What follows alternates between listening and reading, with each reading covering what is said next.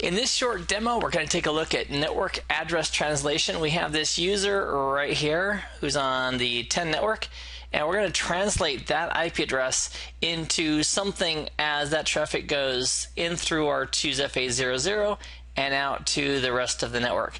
So on R2, we're going to do all the magic. We're going to identify who may be translated. We'll do that with an access list. We'll create ACL number one that will identify anybody on the 10 network space can be translated. And we can translate them to either this interface right here, the outside interface of R2, or to an IP address in the 23 range. Let's go ahead and use the outside interface. So from a NAT perspective, this is going to be the in interface and this is going to be the out interface, just like that. So let's jump on R2 and we'll configure NAT and then we'll verify that it works. Okay, on R2, let's go ahead and set up our, let's see if we have any NAT in, in place. We'll do a show run include NAT, see if there's any NAT statements anywhere in the config. And there aren't. Okay, so sounds great. We'll also do a show access list just to make sure that there's no current access list in place. So what we're going to do first is we're going to create an access list that identifies the traffic that may be translated. So we'll just go into configuration mode. We'll say access list one permit, and we'll say because um, the standard access list is IP, and we're looking at source addresses. Let's say anybody on the 10 network. So if your first three octets start 1000, you are a match. The last octet we don't care about. If we do do show access list, that'll confirm what we just configured. So anybody with on the 10 network is going to be matched by this access list. Now we're not applying this access list to any interface. We're simply going to use it as part of our network address translation rule. So let's create the rule. We'll say IP NAT inside source list and we'll say list number one, which is what we just created, and we'll say you can be translated into the IP address on the interface FA 0 slash 1 and we want to do overloading. What that says in a nutshell is that anybody who is matching the access list of one and their traffic happens to be coming through R2, they're going to be translated to the outside interface of R2, which is FA0 slash 1. Let's take a look at that diagram real quick.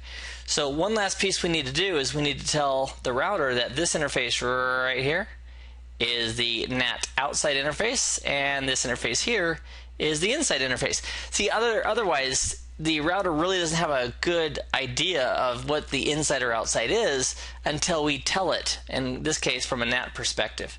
So let's go to um, interface config for FA0 slash 0, say IP NAT inside.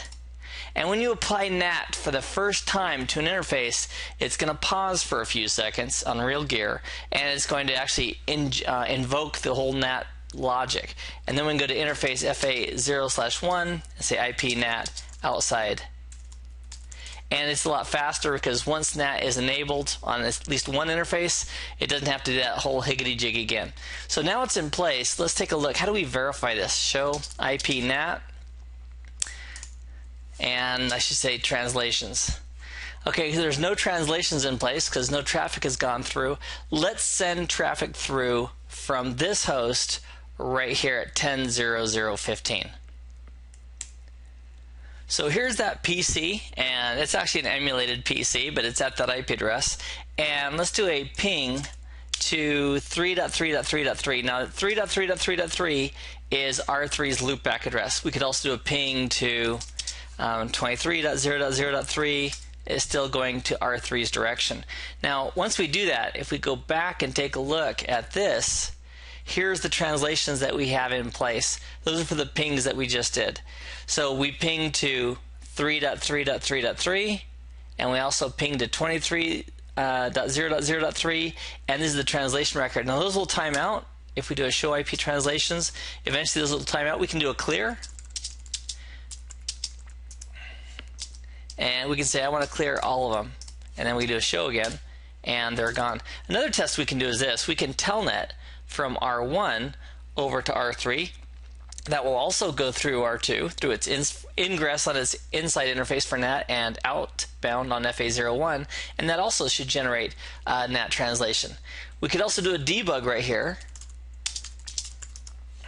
Let's do a debug IP NAT, and we'll say let's leave it on the basic IP.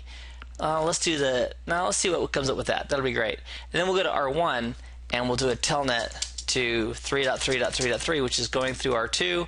That's working. We'll do a show tech support to, to generate some traffic. And let's go back and take a look at R2. So there's our debug of the step by step. We'll do an undebug all to turn that off. And there might be some residual stuff coming up because I turned on debugging.